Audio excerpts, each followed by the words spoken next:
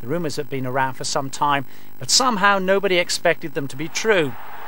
Ince has become an integral part of United's success in recent years. The engine room, the governor, the power in midfield that's fired so much of what's been so good at Old Trafford for so long. Having said that, the emergence and development of Nicky Butt has made an instant replacement available. Butt's aggression and tackling ability has already earmarked him as a governor of the future.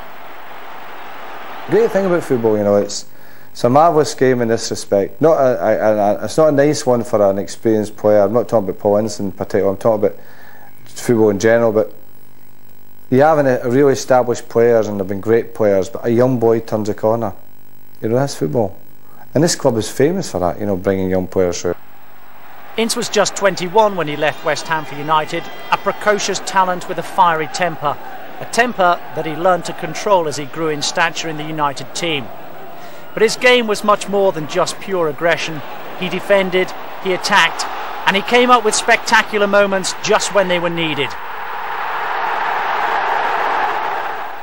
Sharp, getting onto his left foot, he can hit them from here And into the net by Ince. Oh, what a goal that was. That was so clever from Ince. Nothing looked on until his bicycle kick. United fans everywhere will acknowledge the part Paul Ince has played in the championship successes. A natural winner and a natural leader. A captain of Manchester United and England. No bigger honours in the game. It's a sight United fans don't really want to see, but here's Paul in action for his new club Inter Milan in great form too.